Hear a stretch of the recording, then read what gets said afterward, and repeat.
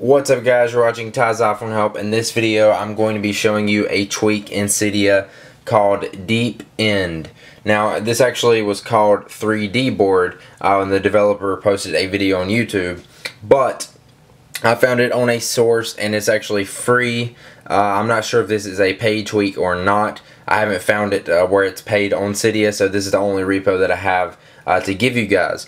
So if you do find it uh, paid on a repo, please leave in the comments below because it is good to, to uh, support the developers. Now, this is the most amazing tweak I have seen uh, for the iPhone and iPod Touch probably since the iPhone has been jailbroken and uh, it's really amazing. It's going to make your icons on your springboard or your home screen of your iPhone or iPod Touch look 3D. And it does this by moving uh, the background around when you tilt your device and it looks really, really cool. It's a really, really nice effect. You can get this by adding the repo, which I'll put in the video right there.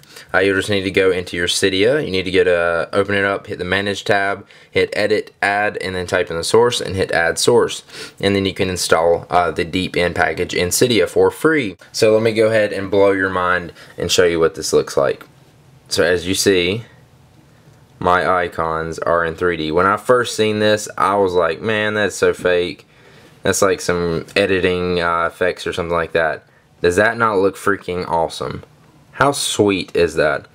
It looks like they're really 3D and they're just like popping out there at you. But really all it is is the background uh, of your iPhone or iPod Touch is actually just moving along with it. Once you install the app, you actually get some settings. I'll go in settings uh, you can do this in any wallpaper by the way, uh, but you get the DeepEnd uh, settings here and you can turn in the zoom which zooms in on the wallpaper, the pitch uh, which is kind of going to change the uh, speed of it and then the roll. Uh, I'll go ahead and demo both these for you, or all these for you. So the zoom, you see it like zooms in on your wallpaper which I don't think looks good. It kind of makes it a little bit pixelated. So I'm going to set that back to about the middle. Okay, and then you got the pitch which I will turn up all the way. Okay, the pitch kind of makes it, uh, I don't really know what it does, but it kind of it kind of rotates it a lot more, which doesn't look all that good to me.